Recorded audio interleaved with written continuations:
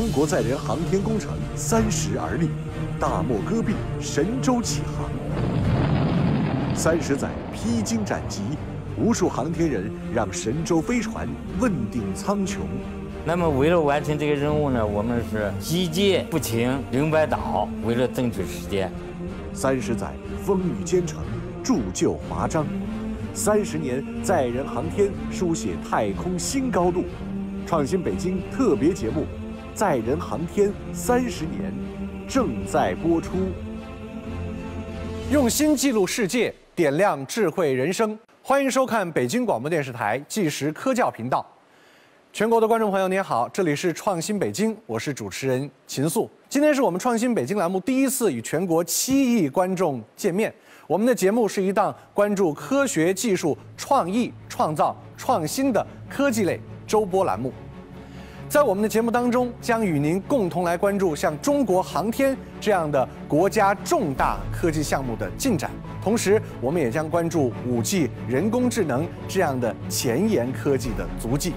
今天我们首先要关注的是，就在前几天，二零二二年的九月十七日，经过了五个小时的出舱行走，中国航天员陈冬和蔡旭哲成功的返回到了问天实验舱，再一次创造了中国载人航天的历史性的瞬间。而就在本周三的九月二十一号，对于中国航天来说，也是一个值得铭记的日子，这是中国载人航天立项三十周年。在整整三十年前的1992年9月21日，党中央、国务院宣布中国载人航天工程正式立项实施。在过去的三十年里，中国载人航天从无到有，从弱到强，创造了一个一个令人惊叹的历史。而今天我们请到的这位嘉宾，他是中国载人航天工程的创业者。可以说，他见证了中国载人航天工程是怎样出发的。那么，接下来我们要有请本期嘉宾，原总装备部司令部九二幺工程指挥部主任王同申，我们一起来聆听他与中国载人航天的故事。王主任您好，你好，你好，非常欢迎您能够来到我们节目哈。来，首先我们有请您就座。我们非常欢迎王主任能够做客我们的创新北京，也先请您给我们电视机前的观众朋友打个招呼。主持人好，观众朋友大家好。前几天是九月二十一日，我想在这样一个特别的日子里，我们要对您表示祝贺和致敬，因为您参与到了我们九二幺工程当中。我们首先想问问您哈，当每年九二幺这个日子来临的时候，在您心里会不会有一些特别的感觉？是的，今年又是我们航天载人工程三十周年纪念。作为一个入伍四十三年的老兵，我一直从事着国防工程建设我航天载人工程建设，所以我的心情是更加的欣慰、高兴、激动和自豪。我和我的战友。历时五年时间，建设成了现代化的航天载人发射港。细心的观众看到，今天我们的桌子上有两本影集哈。其实翻开来看，这也是过往的三十年过程当中很多您个人与中国载人航天重合和难忘的瞬间哈。我们首先想问问您哈，您是什么时候确认自己成为九二幺中国载人航天工程当中正式一员的？我们特种工程技术安装总队最早是一九六二年成立的。一九六二年，对，那时候是为了两弹一星，几颗原子弹的爆炸的塔架，就是我们这个部队建设的。嗯，所以后来呢，两弹一星工程、太原卫星发射中心、西昌卫星发射中心、酒泉卫星发射中心，后来建成的海南卫星发射中心，都是我们这个部队建设的。所以我们的。使命就是建设我们国家的国防工程和航天发射整机的建设。我们接到命令是九四年，九四年在总装备部司令部直接下达了我们安装总队建设中国酒泉卫星发射基地载人航天工程的项目。现在我们所看到的这个载人发射场，哪些部分是当年任务里要求您建设的？我们安装总队主要承担的是发射阵地的三个大项目，一个是发射塔的安装，第二个是垂直厂房类的金属结构安装，那么第三个就是长一点四五公里的专用轨道的整个基础设施和轨道的安装。发射塔下面还有承载着一个导流槽。一个庞大的土建工程。今天我们看到的酒泉卫星发射中心的载人航天发射场，已经是一个非常现代化的发射场了。它成功的承担了中国空间站航天员发射的历次的任务。而回到三十年前，它其实也是我们中国载人航天工程的起点。那我们来回顾一下，在中国载人航天工程三步走当中的第一步，把航天员成功的送入到太空。航天三步走中的第一步。即发射无人和载人飞船，验证航天员天地往返。一九九九年十一月，神舟一号在酒泉卫星发射中心载人航天发射场成功发射，飞船绕飞地球十四圈后，返回舱在预定区域成功着陆。在此后三年间，神舟二号、三号、四号接连在酒泉升空，验证了陆海基航天测控网。进行了微重力环境下的空间生命科学、空间材料等实验。二零零三年秋，神舟五号飞船载着中国第一位太空人杨利伟，从酒泉卫星发射中心再次出征太空。二十秒，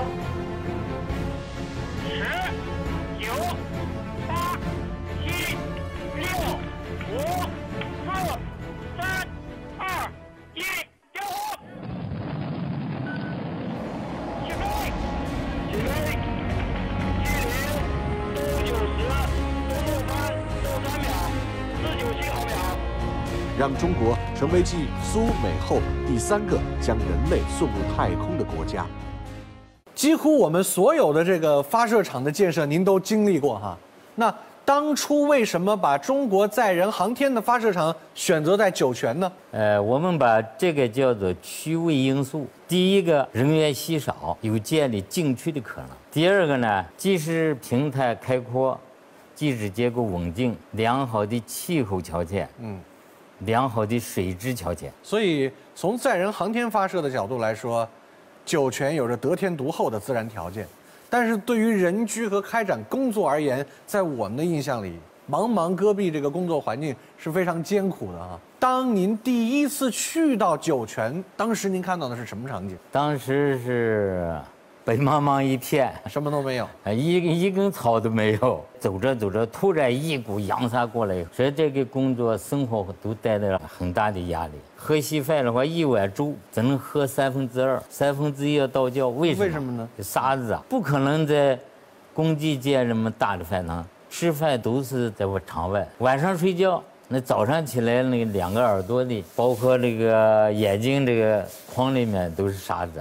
我们起来以后得摇摇头，摇摇，还得动动耳朵。我刚才在您的影集当中翻到一张照片哈，这应该是当时您在戈壁滩上工作时的场景。我想这张照片也就证明了当时的工作环境真是可能随时会跟大风沙不期而遇。你看我的耳朵都是用用纸把它塞起。从您的表情上来看哈，这个鼻子是微微有点皱起的，是，好像随时在。准备着抵御过来的这个风沙，那是不是也意味着我们的部队来到这儿，先别说建造我们的载人航天工程了，首先要解决的是住在哪？是啊，这一张就是我们整个部队住的环境。这个颜色跟周围的戈壁滩简直融为了一体啊！是，这是我们就所谓的整个营地的大门，呃，大门两边是我们。国防科工委当时党委属于我们安装总队的作风，提了两句话：特别能吃苦，特别能战斗。通过照片哈，感受到了刚去酒泉时候那个时候的生活条件以及自然条件，这对我们工程的开展不会产生一些挑战和不利的因素吗？因为我们钢结构是要吊装的。高空作业，在大风条件下，对轿车的稳定性、钢结构的稳定、人员的安全都提出了挑战。我们有专门的安全员在观察整个环境，发现有这种情况的时候，会及时的阻止施工。这对我们的工期也提出了很高的要求，压力很大。有工期，还有自然条件的挑战，但是我们的第一代载人航天工程的建设者们，可以说他们应对了这样的挑战，并且还出色的完成了任务，也创造了很多国内的记录。首先我们要关注到的是。载人航天发射场在发射架下，其实有一个巨大的导流槽。当初那个年代，这个导流槽是我国所有发射场当中 规模最大的一个导流槽。那到底它有多大呢？我们创新北京的记者赵鹏曾经实地进去观察过。我们一起来通过小片走进酒泉卫星发射中心载人航天发射场火箭架下的导流槽。我现在所在的位置呢，是我们的发射架的东边，就在我的右手方向，可以看到一个黑黑的、非常深邃的一个大洞，这就是我们的导流槽了。长征一的火箭，它的尾焰通过这东西两个导流槽之后，向着东边和西边的天空是喷射出去，快速的将这个烈焰的热量导流出去。就在这个导流槽之内，还有大量的水，这些水也起到了降温和降噪的作用。这有个台阶。如果一旦下面需要有一些故障要排除、要维修的话，人就可以通过脚底下这个台阶下去，很深，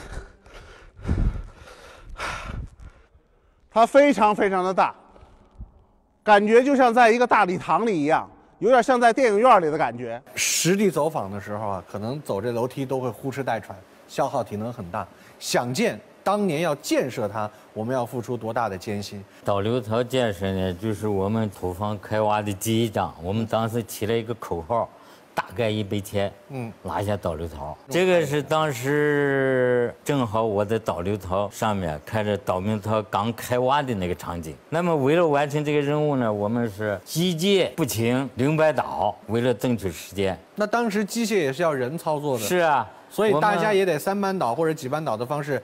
来满足二十四小时都施工的。我们当时负责机械开挖的机械连的连长叫赵汝林，他很辛苦啊。嗯，他可不是是一呃一边一边倒啊，他几乎昼夜坚持在工地上。嗯，还有我们的一个营长叫并光利，他是严重的腰椎间盘突出，而且严重的时候就不能动，他拿了一张席子铺在导流槽的边上。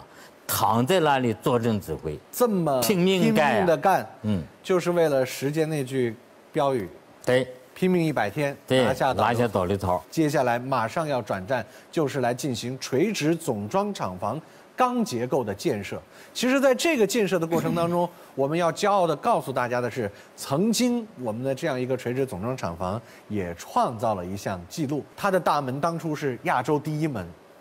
为什么它会被称为亚洲第一门呢？这个大门呢，七十五米高，六扇算一个门，两个大门。嗯，那么每扇是五十多栋，一个门就将近三百多栋。它的高度是七十五米，这对我们测量安装都造成了很大的这个挑战。还有一个就是这个大门的要求精度高，要保证它密封。咱们知道场外的条件是风沙大，卫星在里面测试的时候，你必须要求。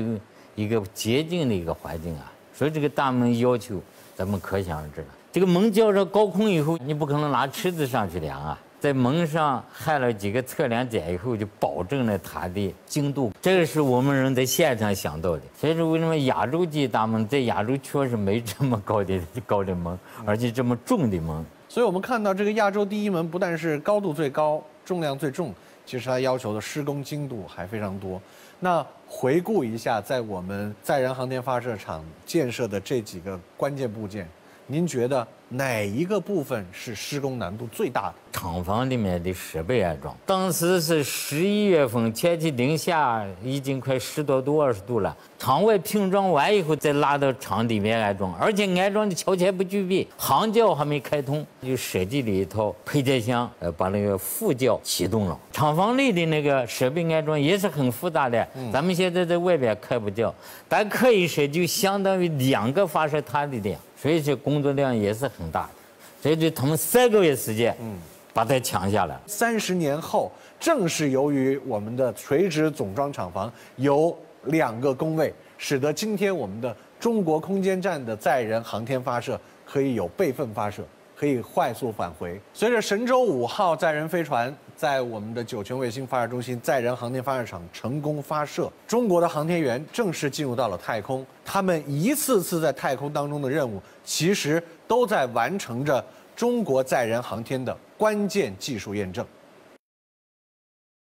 载人航天三步走中的第二步是继续突破载人航天的基本技术，多人多天飞行，航天员出舱在太空行走，以及飞船与空间舱的交会对接。二零零五年十月，神舟六号搭载费俊龙、聂海胜两名航天员首次成功进行了多人多天太空飞行试验，标志着开启了三步走发展战略。第二步征程。在接下来的十四年中，中国相继发射了神舟七、九、十、十一载人飞船，以及天宫一号、二号空间实验舱。二零一七年，搭载天舟一号的长征七号遥二运载火箭在海南文昌卫星发射场点火升空。至此，中国载人航天工程三步走发展战略第二步宣告完成。我们的航天员们，其实，在太空当中的完成的任务动作越来越多了，背后呢离不开他们在地面的训练。在北京航天城，其实呢有着我们的航天员的训练基地，而在这其中哈有一个失重水槽，这是帮助航天员们来在地面进行非重力环境的模拟的这样一个装置。您本人也是参与到了这个失重水槽的建设过程当中。我们看起来好像这就是一个容积比较大的一个水池，但实际上它的建设有什么我们不为人知的难度呢？当时九九年，我已经调到航天城九二幺工程指挥部当主任，正好在协调这件事情。嗯，所以现在我们一块组团去俄罗斯星城参观，他们叫星城，和咱们的航天城的性质一样的。这就是他们的水槽。嗯。普通的人一看，那就是一个大游泳池。但是我们的要求啊，呃比较高，必须要三十年以上的寿命，而且我们这个水槽周围全部是用一公分厚的不锈钢焊接而成的，保障它的水质嘛。咱宇航员对水质要求很高，包括在三峡工程都考察了他们那个出水的那个那个运道，他们也用的不锈钢。他们呢，为了保持造价呢，在钢板上加一层薄薄的不锈钢，嗯，来降低造价。但是我们也想用这个方案，但是考虑到它的寿命，嗯，为了它的质量，为了宇航员的安全，我保证水质，我们还是采取了最保险的办法。而且这个不锈钢的型号也是比较高的，等于把空间站建到水槽的中间，嗯，然后宇航员他。穿戴的这个设施呢，正好和失重环境下是一样。过去咱们这种失重没水槽的时候，是用飞机，嗯，这么弧形飞行，在这种失重环境下，来搞这种失重训练。这种训练的成本和造价是非常高的，非常高。所以我们看到这样一个巨大的失重水槽。它已经训练了我国的第一批航天员、第二批航天员，而目前呢，我们的第二批航天员和第三批航天员也逐渐要成为中国空间站建设的主力了。他们在中国空间站建设的阶段完成了很多关键技术的实验。那接下来我们来关注一下中国载人航天很关键的第三步——中国空间站的建设。五、四、三、二、一，点火！点火！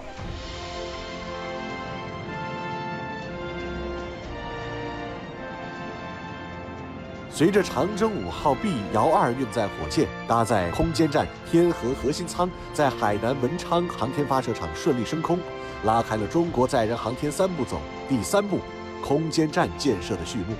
第三步即建立永久性的空间实验室，航天员和科学家可以来往于地球与空间站进行规模较大的空间科学实验。此后，先后发射了天舟二号、神舟十二号、天舟三号。神舟十三号、天舟四号、神舟十四号问天实验舱，今年年底以天河核心舱、问天、梦天实验舱为主体的中国空间站将完全建成，这也标志着中国载人航天三步走第三步的结束。三十年的时间过去了，当初我们从无到有的建设了酒泉卫星发射中心的载人航天发射场。而现在呢，我们又有了另一个现代化的发射场——文昌发射场。您最近一次再次回到您曾经建设过的酒泉卫星发射中心的载人航天发射场是什么时候？九九年离开，再没去过。就海南我去过。嗯，退休以后，我非常渴望再看看我们新的发射场。去了以后，感到确实震撼。我们的火箭直径到了五米，我们在酒泉卫星发射的火箭呢，直径三点三五米。嗯，而且我们海南的助推火箭也达到了三点呃四米左右，这就是大推力，看着。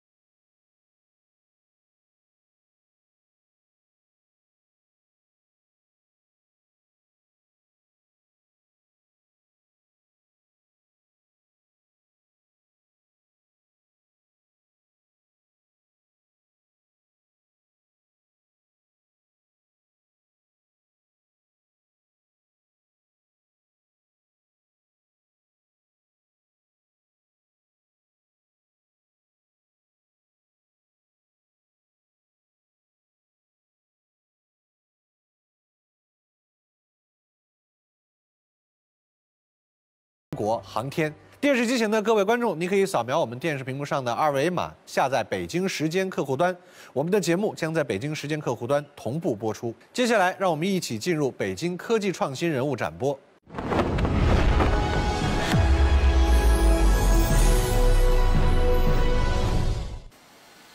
这里是清晨六点的北京农学院家属楼，北京农学院经济管理学院的李华教授。即将开始今天的基层调研。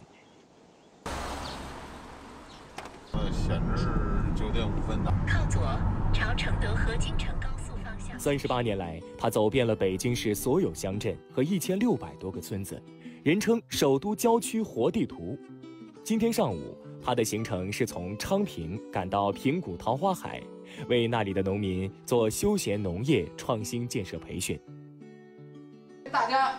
都是在一线，啊，从事这个休闲农业和乡村旅游。咱先搞清楚什么叫创业。嗯，大家好啊，我是北京农学院李华，也是北京市科协十大。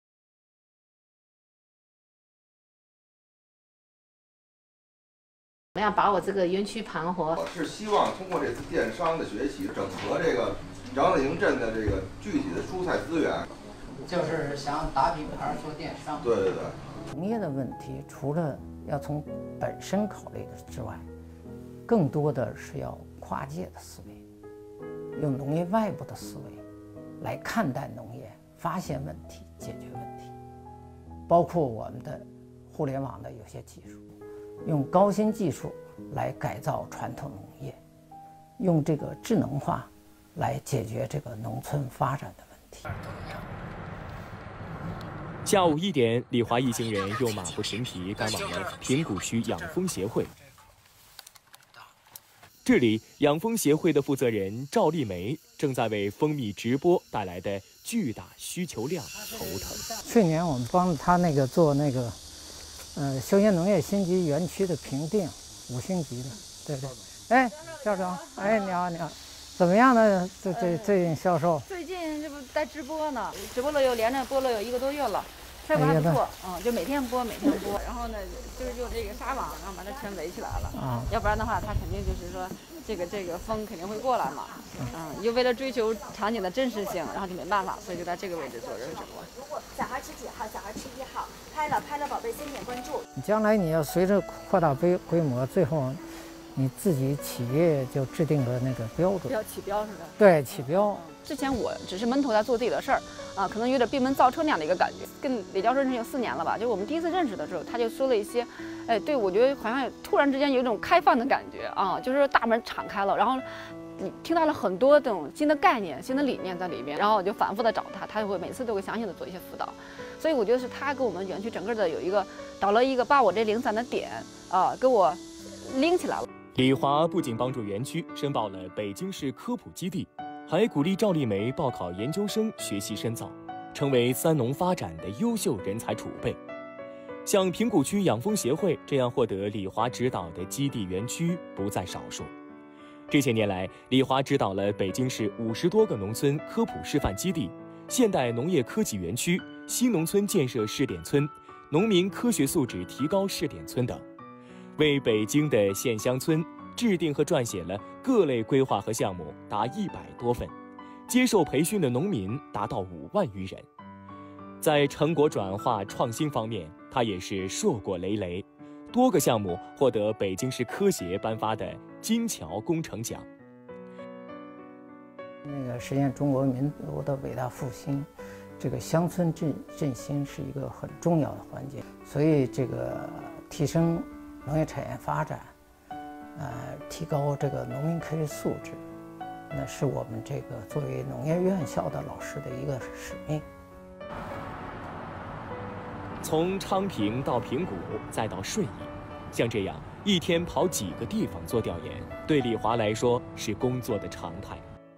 作为北京市科协九大十大委员，全国科普先进工作者，李华从身先士卒下基层，用技术服务三农。到传播知识、抓教育，用人才支撑三农，他一直走在路上。九月二十号，以科技赋能、协同发展为主题的京津冀科协深化合作对话会暨北京市科协与延庆区政府全面合作启动会在北京市延庆区成功举办。会议重点围绕京津冀三地科协深入合作，共话京张融合发展，共谋延庆最美冬奥城建设。是三地科协和延庆区贯彻落实中央京津冀协同发展战略的重要举措。下一步，北京市科协将按照统筹谋划、资源共享、优势互补、协同发展的原则，推动三地科协携手助力京津冀协同发展迈向更高的水平。会上，京津冀科协签署了《京津冀科协深化合作备忘录（二零二三）》，共同启动京津冀公民科学素质网络大赛。三地科协将发挥各自区位组织和资源优势，联动发力，互助共享，以此为支点，进一步为京张深入合作、延庆区高质量发展、冬奥遗产保护与利用等提供智力支撑和资源支持。同时，北京市科协与延庆区签署战略合作协议，挂牌成立延庆区院士专家服务中心和科技助力乡村振兴工作站。双方将进一步在产业创新、乡村振兴、科普服务全域旅游等方面。明确合作方向，完善工作机制。这也必将为年轻的创新发展注入源头活水。中国工程院院士、清华大学化学工程系教授、博士生导师金勇，北京市城市规划设计研究院高级工程师何朝东，分别以“碳中和与创新发展机遇”“京津冀协同发展回顾与展望”为题作主旨报告。